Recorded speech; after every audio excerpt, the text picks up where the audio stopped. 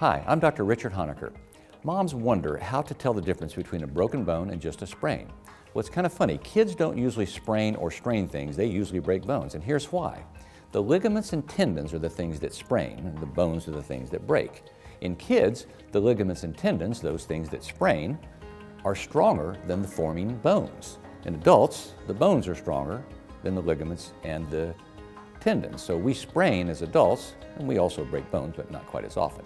So if a kid has a, uh, an injury, you got to think broken bone first. And one way you can tell if it's a broken bone is there'll be a big goose egg of swelling.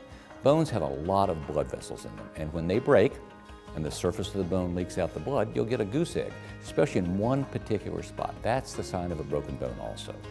Also, if the pain is severe, that's going to be more of a broken bone instead of a, a, a bruise or a bump. And also, uh, if uh, they don't move the site, they don't move the finger or the foot or the ankle. If there's any question, see your doctor and get an x-ray. But remember, kids often break bones, they don't very often strain and sprain ligaments and tendons.